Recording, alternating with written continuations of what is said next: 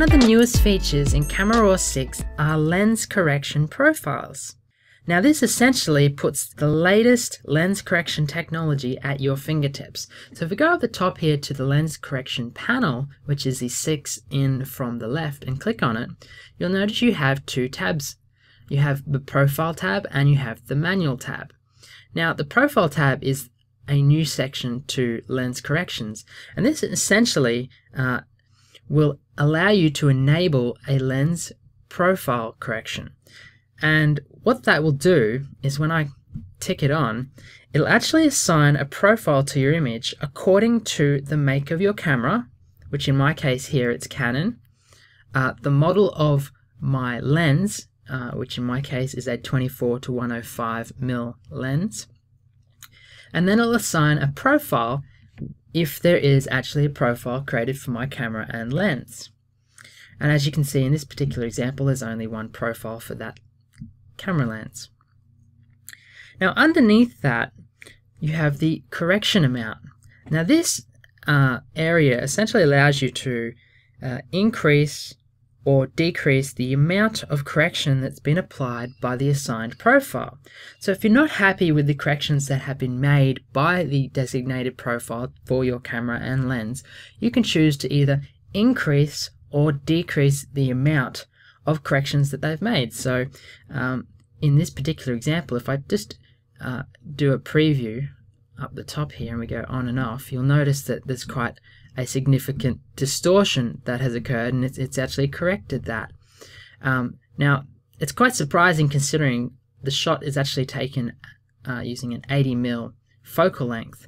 So there is quite a lot of correction in that lens, even though it's not shot at a wider angle. So if I wanted to make a correction to this and say this was, it, it made way too much, a, way, a large correction that really I wasn't happy with, for example, I could go to the distortion uh, slider and I could actually correct that. I could decrease the amount of distortion that they made, or vice versa, I could actually choose to increase the amount of correction uh, that the profile has made to my liking. So it's all sort of personal preference. Now, what if your camera or lens doesn't actually have its own profile? Or you don't want to use Adobe's um, set profiles that they've created? Well, if that's the case, you have two options.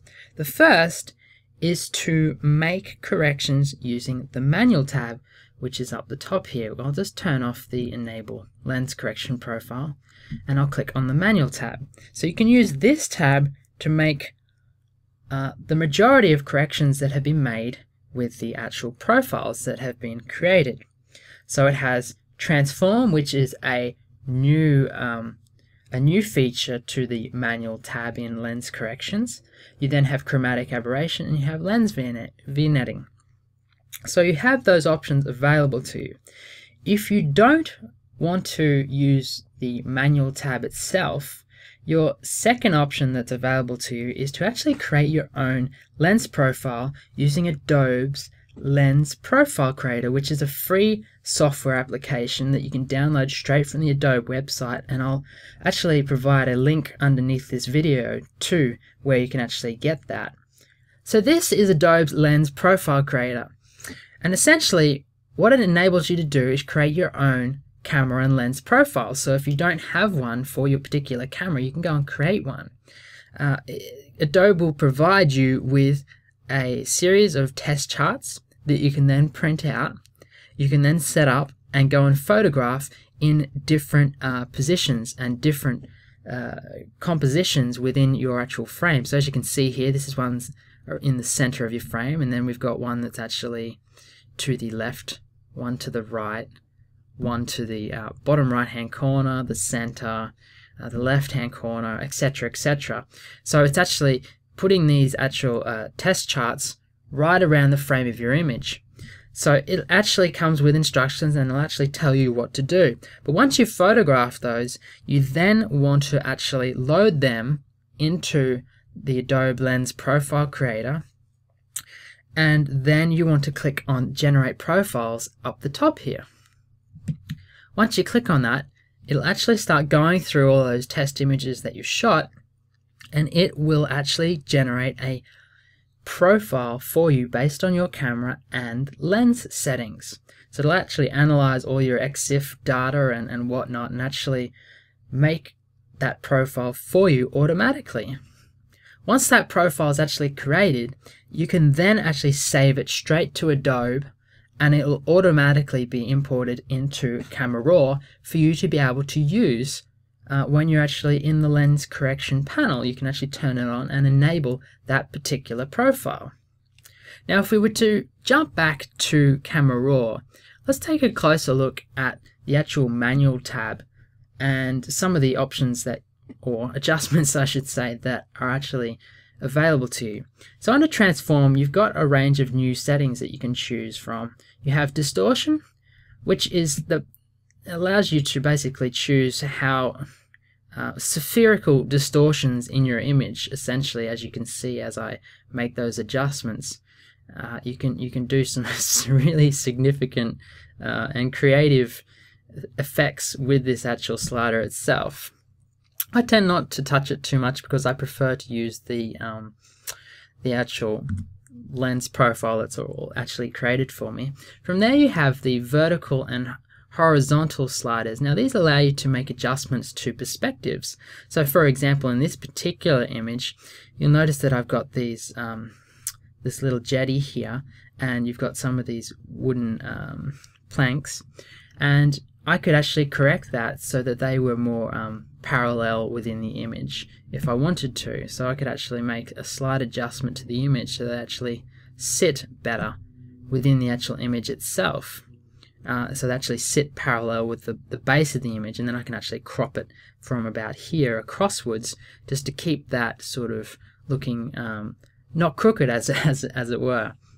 So you have those two perspective adjustments that you can make. You also have a rotate slider, which allows you to do basically a rotation of your image, so you can rotate it. So that's really quite handy. And you can also do a scale, where you choose to actually scale the image and increase the size or decrease the actual size of the image accordingly. So there's some pretty neat um, new sliders available in the manual tab. You also have chromatic aberration. Now, chromatic aberration is where the optics in your lens fail to focus all the colors to the same convergence point. So what you essentially end up with are colored outlines on the edges of fine detail. Now this is especially common with wide angle lenses around the four corners of your image. So in this particular example, if I zoom in to the bottom right hand corner, you'll notice, I'll zoom into 200%. What you'll notice is you can see this blue outline along the jetty here. And it looks quite, that, that itself is actually chromatic aberration. It sort of runs right up here. It's quite evident in the actual shot when you actually take a closer look. So what you're essentially doing uh, to fix these chromatic aberrations is you need to add back in to the affected areas opposite colors uh, than which are present. So in this example, you'd actually make it, because that's sort of a very blue chromatic aberration, you'd want to actually, uh, fi to fix the blue, I would actually grab this blue yellow fringe slider and I'm going to dial back in yellow. So I've dialed, uh, I've, I've gone minus 15 and what you'll notice here is that the blue has actually disappeared around the outside of that jetty. Uh, so let's do a preview. So we go off, so there's the blue at the moment, and we turn it back on, and it's gone. And not only that, you'll actually notice the image is slightly shifted. So it's actually shifting like the, the underneath color layers, uh, or color channels as it were, um, to reposition them and add those colors across those different areas. So that's really neat, and that's how you sort of make a correction to your chromatic aberrations. One note though, you don't want to make some, uh, too uh, extreme corrections when you're doing this, and you also want to make sure that you check other areas within your image. So if you're making an adjustment to the bottom right hand corner, which I'm actually doing at the moment, I'd want to check the other areas of the image, so up in the top left hand corner, maybe around the the bottom left hand corner, etc., and even the center of the image, just to make sure that that correction hasn't actually affected any other areas in the image, because sometimes it can, especially if you're making extreme adjustments. Now, also available to you underneath the chromatic aberration settings are uh, is the defringe option. This essentially allows you to choose whether you like those um, red cyan fringe or blue yellow fringe adjustments to be applied just to the highlight areas or just to all edges within your image. Now to show you a, a distinct example of this, let's really go bananas and let's make a serious adjustment there. So as you can see, um, that's quite hideous, but it's going to really emphasize what I'm about to show you. So if we go in here and we go, well, let's just make that adjustment so it's for the highlights, and let's just make it so it's for all edges. So you can see a slight um, difference there.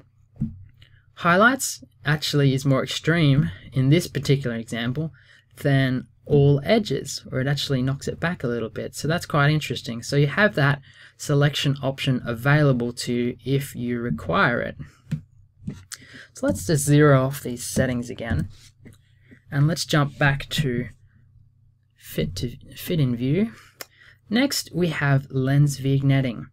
Now, lens vignetting is very useful not only to correct um, lens imperfections where you've got, especially with wide angle photos, where you've got that sort of dark vignetting coming around all the corners of your image that can look really um, out of place and, and not quite not quite right.